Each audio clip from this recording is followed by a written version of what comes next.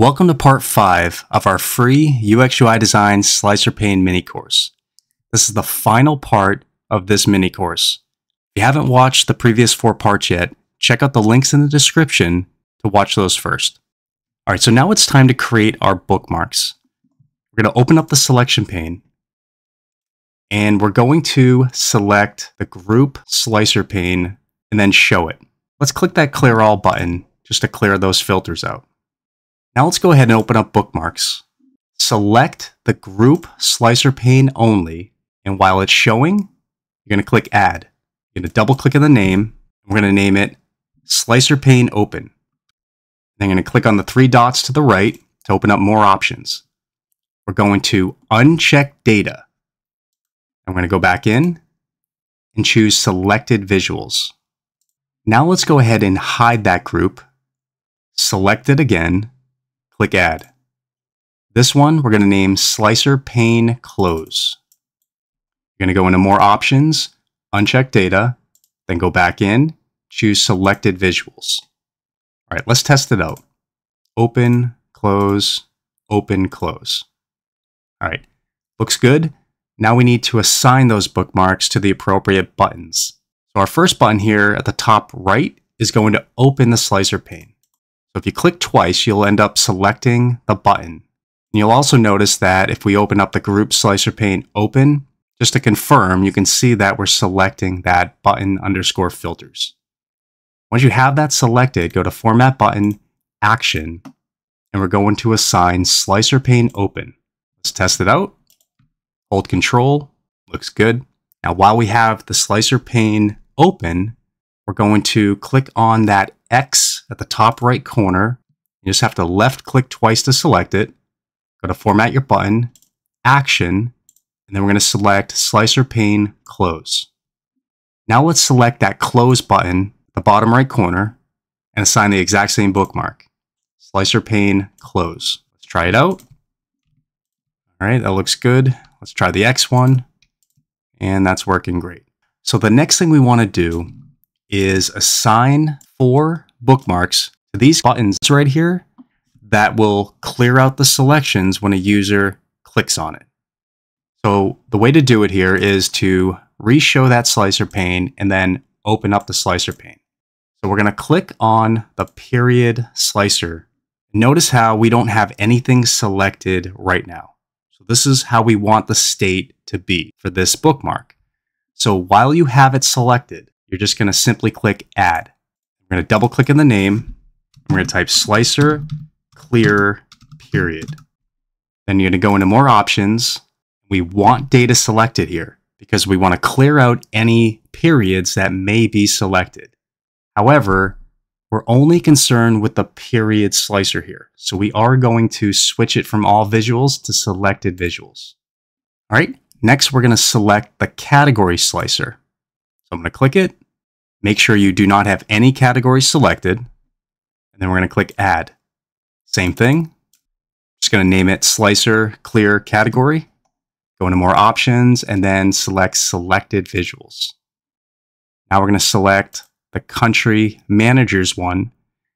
Make sure you do not have any country selected. Then you're going to click Add. Double click. We're going to name this one Slicer Clear Country.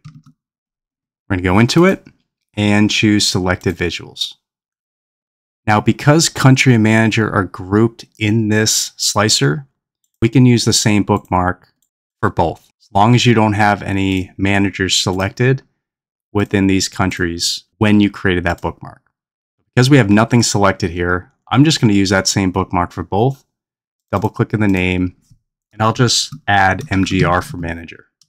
All right, so now that we have those bookmarks, let's assign them to those buttons that we put on top of the filter info pane. Let's close this, close the slicer pane.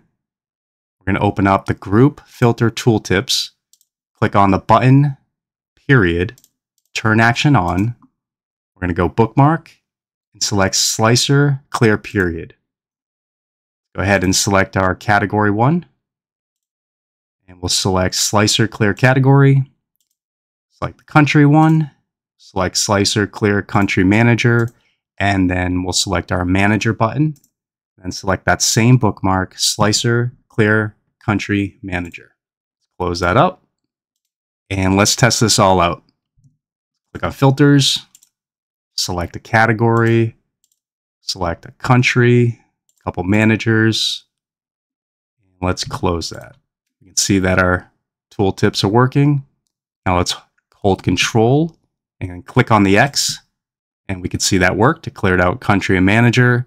Let's now do the category one, and we can see it cleared out that category. If you want, we can go ahead and check period real quick.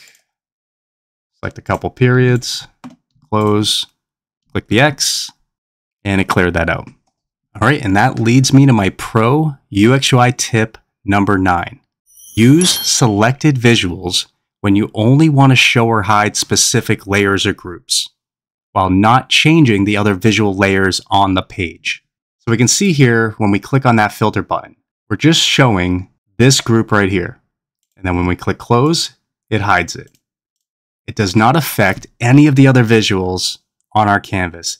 It's just simply showing or hiding this group when we click those bookmarks. And our other bookmarks are working the same way. The only difference is we have data selected because we want those bookmarks to clear out any data that we have selected, which in our case are these fields within the slicers. All right, so we are all finished creating our UX UI designed slicer pane. Yay!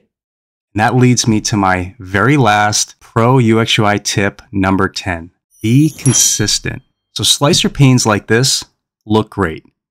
But as you just experienced, they take a lot of work to create.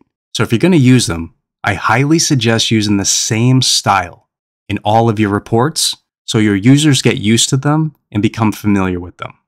You can always save a template of a slicer pane and then reuse it later on within a report with just a few tweaks. So for example, let's duplicate this page and I'm going to go to selections and select the slicer pane. I'm going to open it up and I'm just going to temporarily remove the shape overlay. Drag it down here for now. So I just want the slicer pane group just like we see here. Now you can see I can left click and hold and drag the entire group all in one shot. Then you can left click on the top left corner and manually resize your slicer to whatever size you need it to be. After you've done that, you can make small adjustments to the slicers within it if you need, or you can add new slicers to it. So saving this slicer pane as a template is just going to save you time down the road. So you don't have to start completely from scratch each time you need to make a slicer pane. All right, so I really hope you found value in this free UX UI designed slicer pane mini course. So don't forget to like, subscribe, and click that notification button.